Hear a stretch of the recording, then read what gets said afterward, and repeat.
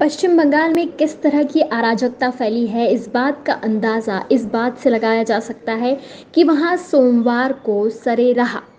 रात को कुछ मंचलों ने कार रोककर पूर्व मिस इंडिया यूनिवर्स रह चुकी और अभिनेत्री उषुषी सेन गुप्ता के साथ छेड़छाड़ की है। और उनकी कार के पर पथराव भी किया गया है और साथ ही साथ उनका मोबाइल छीनने का भी प्रयास किया गया है। इसका वीडियो सोशल मीडिया पर काफ़ी वायरल हो रहा है, जिसमें देखा जा रहा है कि कुछ कुछ लड़कों के झुंड द्वारा उनकी कार पर हमला किया गया है और उनके साथ बदतमीजी करने का प्रयास किया जा रहा है। हालाँकि पुलिस ने इस मामले में आरोपितों को गिरफ़्तार कर लिया है, लेकिन आखिरकार ये कैसी अराजकता फैल रही है समाज में कि महिलाओं को कहीं भी सुरक्षित नहीं रखा जा रहा है। तो क्या? तुम ना तुम लोगों का हेलमेट कहाँ है? हेलमेट भूल में इस्तेमाल बाहर निकले। अरे मेरे खिलाफ कौन निकल? बाहर निकल निकल।